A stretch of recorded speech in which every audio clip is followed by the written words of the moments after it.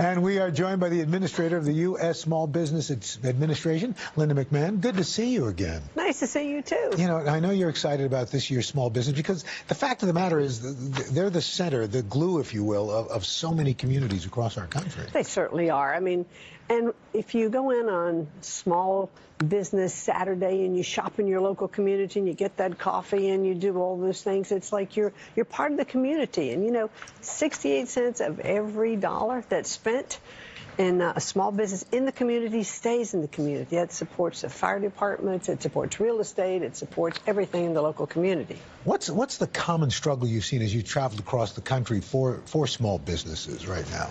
Well, small businesses really they struggle against bigger businesses right now. We have a workforce shortage because um, unemployment is so low. So small businesses are competing for that. So we're trying to uh, to make sure that we are providing a a bigger workforce to come into those small businesses.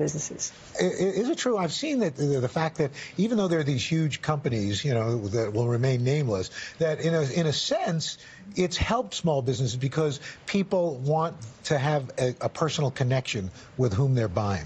It's so great. When I walk into a local shop in my hometown and they say, hey, good morning, Linda, how are you doing?